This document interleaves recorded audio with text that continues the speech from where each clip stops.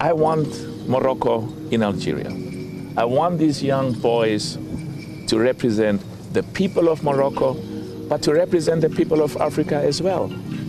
And, and I have spent the last few days doing everything possible in my discussions with the government of, uh, of, of uh, Algeria, as well as in my discussions with my brother. Uh, you know, in all families, family discussions, there are times when there are different views. And, uh, and I'll tell you what we discussed in EXCO and what I told the media yesterday.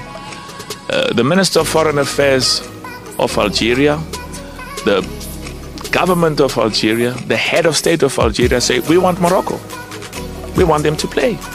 We want them to come to Algeria and uh, we, we, are, we will give them the best of hospitality. They are our brothers. I like that. We, we, we leave football and get and cross into the line of politics. That's not our domain. We are not politicians. So we recognize that you know Algeria has its own explanation as to what was happening. They say yes, but Morocco has been there in the past. They went to Tunisia, they came there. But that's the explanation.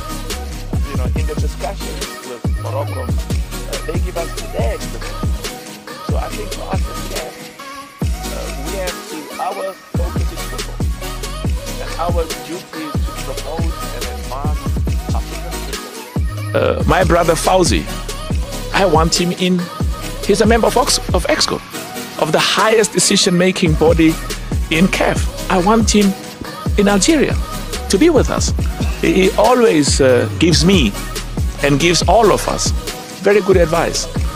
So, uh, so the Algeria government says we welcome them, we, we want them, uh, we want them to come and play. They'll get the hospitality, and, and of course, and, and and I'll tell you what I asked. I have to. I recognize that there's a blockade. And I said, allow them to come.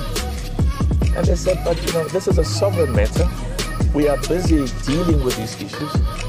And, and of course, you know, uh, uh, the letter that came from Veron on behalf of CAF, uh, which said that there were earlier discussions to say, please allow them to come.